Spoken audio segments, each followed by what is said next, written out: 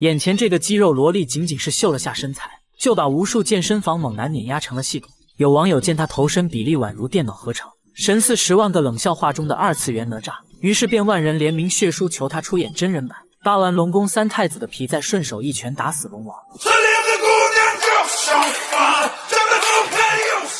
有网友表示，肌肉才是最好的嫁妆。毕竟结婚后在武力压制下，丈夫没有叛逆期，没有离婚一说，直接走丧偶程序。婆婆甚至还会站在一边乖巧表示，打了我儿子就不能再打我了哟。也有细狗网友表示，虽然郭芙蓉肌肉猛，但还是能和他来个三七开，对方三拳自己头七，主打的就是一个人没了嘴还是硬的。互联网李白们更是争先恐后秀才艺，夸赞他犹抱琵琶半遮面，一拳打成驱逐舰，半点朱唇无人尝，两拳砸死少年郎，云想衣裳花想容。三拳锤晕史泰龙，鲁智深看见了都得磕两个骑马跑路。尽管拥有一身细狗们梦寐以求的肌肉，可郭芙蓉的相亲之路却十分坎坷。而经历过六十六次失败的她，甚至还把原因归结到了裙子身上。今天去相亲，对方看见我拔腿就跑，是因为衣服太难看了吗？然而，随着郭芙蓉账号粉丝不断飙升，许多质疑之声也接踵而来。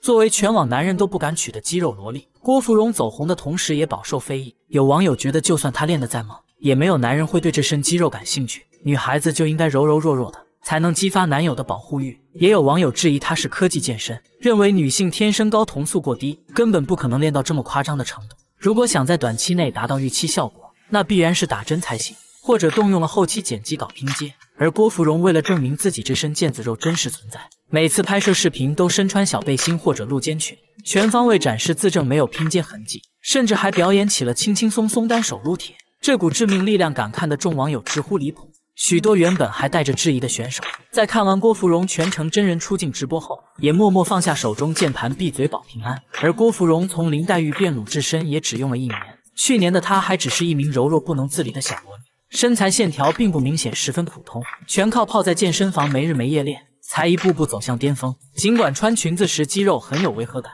但穿卫衣时并不引人注目。肌肉也并非是她的累赘和负担，毕竟还是有许多人喜欢力量型美女。对此你怎么看？欢迎留言讨论。